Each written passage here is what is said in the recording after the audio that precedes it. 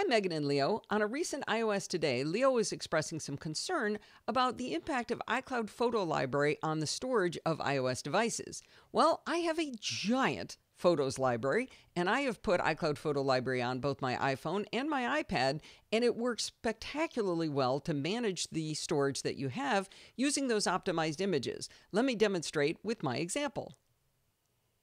Here we are looking at my photos library over on my MacBook Pro that has a one terabyte internal drive. I have every single photograph I have ever taken with a digital camera dating back to, I think it's 2000, how far back do we go? 2001 or so. Anyway, let's do a get info on this library to see how big it actually is.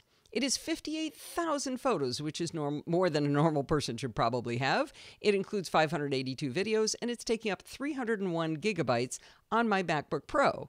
Now let's switch over to my iPhone and see what I see there.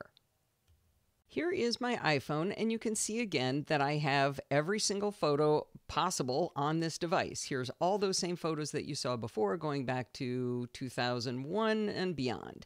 Anyway, let's go take a look at my storage. And you can see it's only taking up 16.4 gigabytes on my iPhone 6.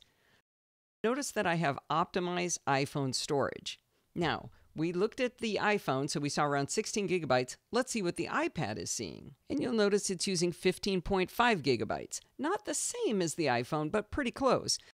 Now, of course, most people don't have this ridiculous size photo library, so I'm finding that most of my friends can fit under the 200 gigabyte plan, which is really actually reasonably priced. It's only if you have a giant photo library like I do that you might run into some serious cost. So, Leo, I hope that allays your concerns about people using iCloud Photo Library and chewing up all of the storage on their portable devices.